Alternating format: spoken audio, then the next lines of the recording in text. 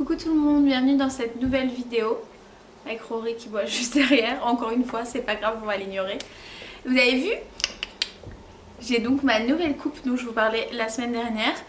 Euh, bah en fait c'est assez cool et la longueur c'est plus long que ce que je pensais en fait. Ça fait vraiment un carré normal, ça fait pas un carré... Euh, Dora l'exploratrice comme je pensais que ça ferait. Aujourd'hui, on va faire une tarte au citron meringuée vegan. En fait, c'est un dessert qui peut paraître assez étrange et assez difficile à végétaliser parce que dans une tarte citron, il y a euh, donc la crème de citron qui est faite principalement à base de jaune d'œuf et la meringue qui est faite principalement à base de blanc d'œuf. Mais euh, en fait c'est très très simple, donc je vais vous montrer comment moi je fais.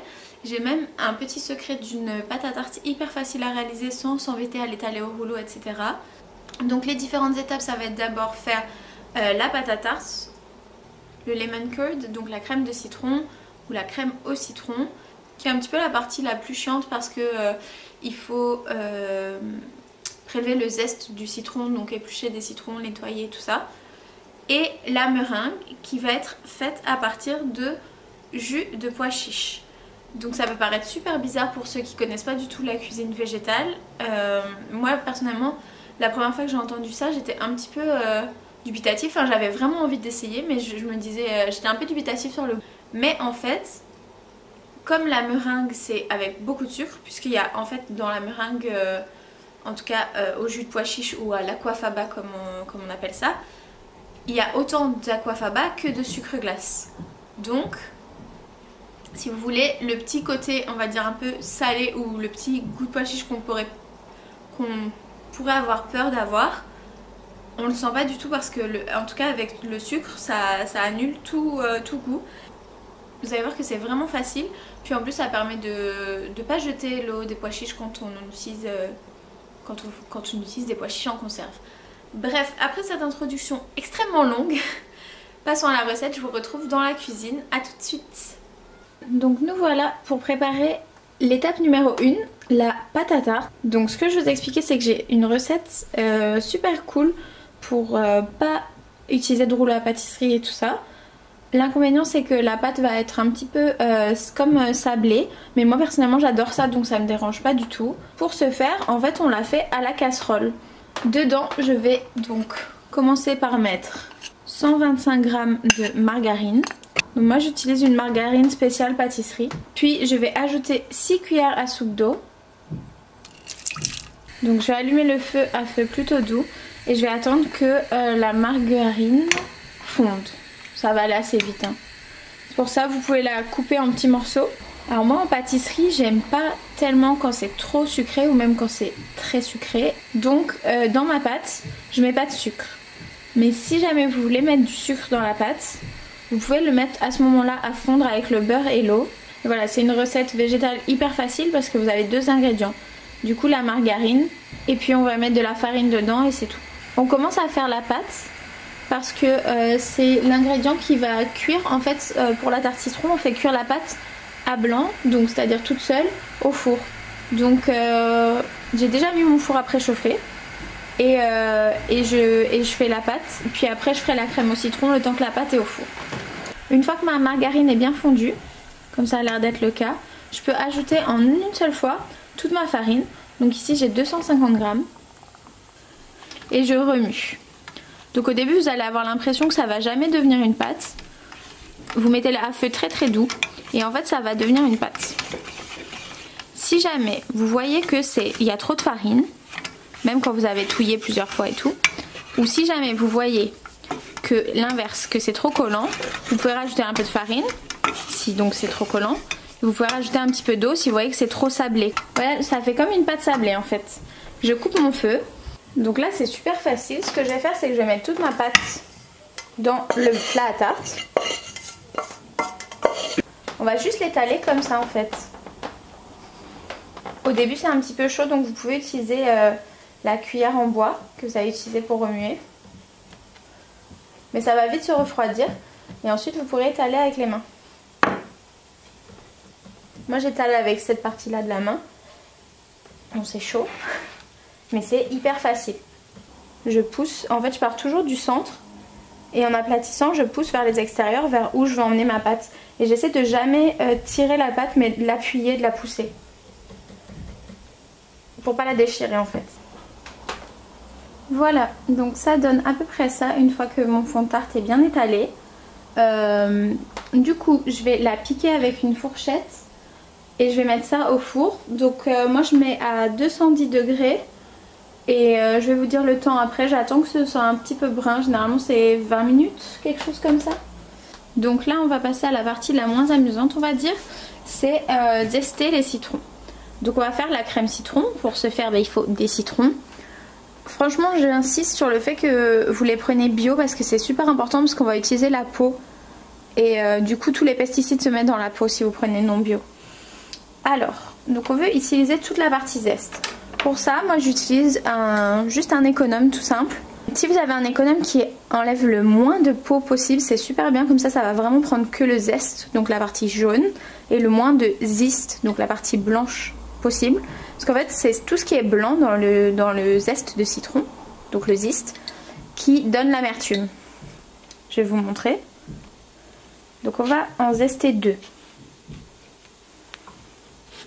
Moi je fais comme ça. En fait vous voyez il y a quand même un petit peu de blanc. Du coup ce que je fais c'est que je le mets à plat. Et avec un couteau j'essaie de racler tout ce qui est blanc au maximum. Le mieux c'est d'en prendre déjà le minimum sur le citron évidemment. Et euh, ce que vous pouvez faire aussi pour encore améliorer, pour qu'il y ait le moins d'amertume possible, c'est euh, blanchir tous les zestes. Donc ça veut dire qu'une fois qu'on a zesté les deux citrons, on peut les passer dans l'eau bouillante 2 euh, minutes, juste pour enlever l'amertume, aussi les nettoyer. Et comme ça, après, on n'aura vraiment que le zeste pour le goût parfumé de citron qu'il a. Et ensuite, on va utiliser le jus vraiment pour l'acidité. Donc, continuons.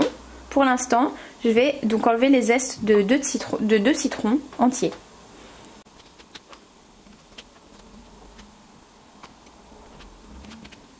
Je vous conseille de faire ça avant de les presser.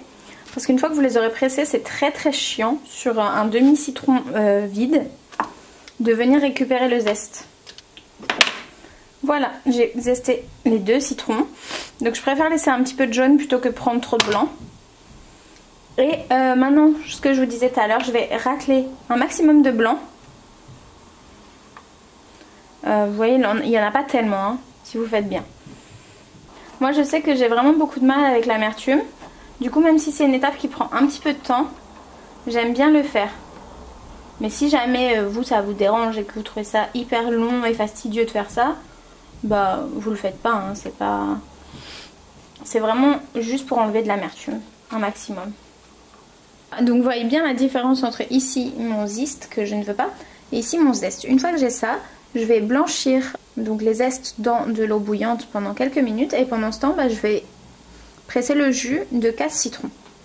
Voilà, entre temps j'ai coupé euh, le, le, four pour ma tarte parce qu'elle était, elle commençait à dorer. Euh, maintenant j'ai mes zestes qui sont passés euh, à l'eau, vous voyez il n'y a plus du tout de blanc et ça sent encore super bon le citron.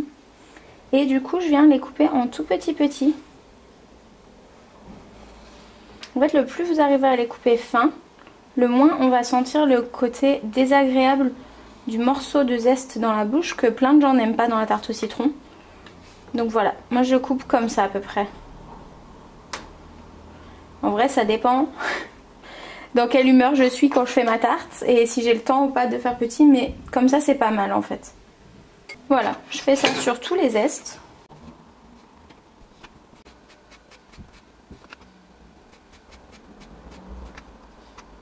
Voilà, donc maintenant je reprends la casserole euh, que je vais utiliser pour la pâte à tarte. Et dedans je vais mettre le jus de mes 4 citrons. Puis je vais mettre les zestes de mes 2 citrons. Je vais mettre du sucre. Comme je vous disais, moi je mets pas des masses de sucre parce que j'aime bien le côté très acide du citron. Donc je mets 70 grammes, donc 70 grammes. Allez, 75 on va dire. Je vais également ajouter directement avant de mettre sur le feu 100 g de margarine.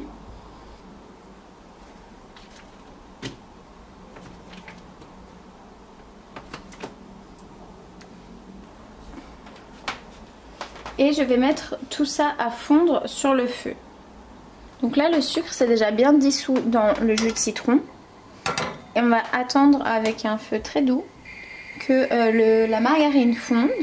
Puis je vais ajouter 250 ml de crème soja. Et en fait le truc de, rajouter de la crème de soja et de la margarine, c'est que normalement donc la crème au citron c'est fait avec des jaunes d'œufs. Les jaunes d'œufs c'est très très riche. Et du coup dans, comme là on n'a pas d'œufs, et on, essaie de rajouter de la matière grasse plus qu'on va dire que dans, la traditionnelle. Donc on rajoute, euh, je vais vous dire, je vous rajoute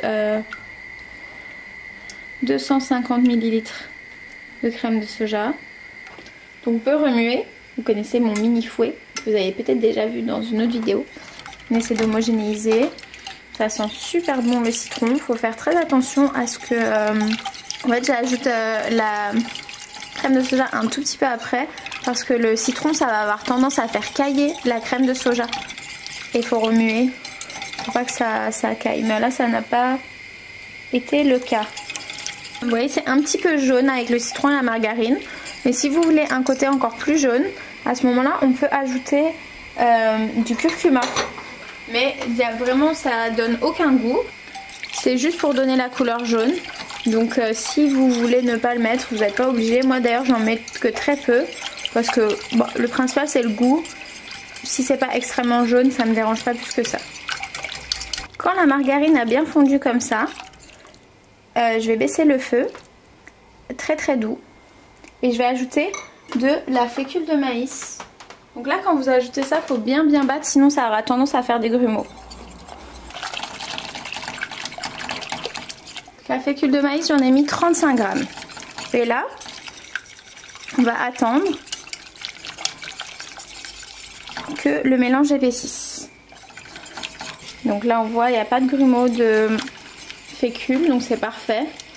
Et on est patient et on remue bien. On fait attention à ce que, à ce que ça s'accroche pas. Une fois que ça sera bien épais, on pourra la verser sur le fond de tarte. Moi, généralement, j'attends qu'il y ait 2-3 bulles que ça boue quoi pour avoir la bonne texture. Donc là on voit qu'il y a quelques bulles. Hop, je coupe le feu et je vais verser ça dans le fond de ma tarte. Désolée, je vous ai pas montré quand j'ai versé la crème parce qu'il fallait qu'elle soit encore bien chaude pour pouvoir la verser dessus. Euh, comme ça ça allait être plus facile, elle avait pas le temps de refroidir et de prendre. Donc voilà ce que ça donne. Donc la mienne elle est un petit peu blanche comme je vous ai dit parce que je mets pas beaucoup de curcuma. Donc maintenant vous pouvez voir ça fume encore. Euh, je vais attendre que ça refroidisse avant euh, de faire et de mettre la meringue dessus. Et la meringue c'est l'étape la plus facile donc je vous retrouve pour ça tout de suite. Voilà donc on va passer à la dernière étape. Pour la dernière étape comme je vous ai dit dans l'introduction on va utiliser du jus de pois chiche. Donc euh, moi j'utilise une, une, conserve achetée parce qu'en fait quand je... Donc comme je vous ai déjà mentionné je pense que je fais mes propres conserves. Mais quand je fais mes conserves de pois chiches, j'arrive pas à avoir la bonne texture de liquide pour que ça me donne euh, de l'aquafaba. Si jamais vous avez des tips, je vais goûter euh, les pois chiches. Donc j'ai pesé mon aquafaba. J'ai 120 g d'aquafaba. Pour faire la meringue, en fait il faut un temps pour temps. Donc j'ai utilisé 120 g de sucre glace. Et vous allez voir si tout se passe bien. Quand je vais battre, donc j'utilise un batteur euh, électrique. Ça va monter exactement comme des œufs, donc ça va faire un petit peu de bruit.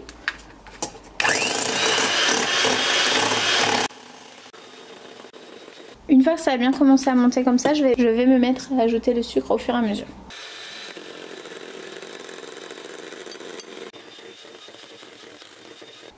Donc voilà, vous pouvez voir le résultat, c'est assez bluffant. Comme on dirait vraiment de la meringue. Et euh, je vous jure, au goût. On dirait vraiment de la meringue. Donc voilà. À partir de là, je vais prendre ma tarte qui a bien refroidi entre temps, qui est là. Et alors si vous vous sentez l'âme d'un artiste, vous pouvez euh, prendre la poche à douille, mais moi je fais vraiment à la à l'ancienne on va dire. Et avec euh, la spatule, j'étale pour essayer de répartir uniformément la meringue sur toute la tarte. Ça, c'est ce que ça donne maintenant.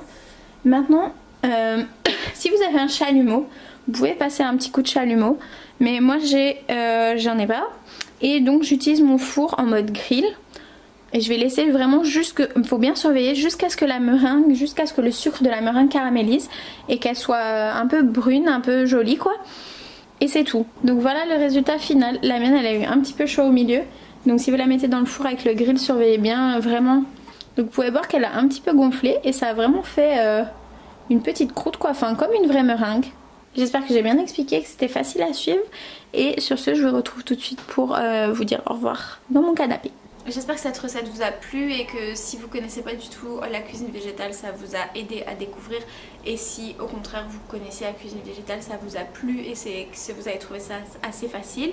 N'hésitez pas à me laisser des commentaires. Je vous mettrai en tout cas toute la, recette avec les ingrédients, les quantités etc en barre de description. Comme ça c'est plus facile si vous voulez la refaire. Et euh, sur ce je vous dis à la semaine prochaine. Bye bye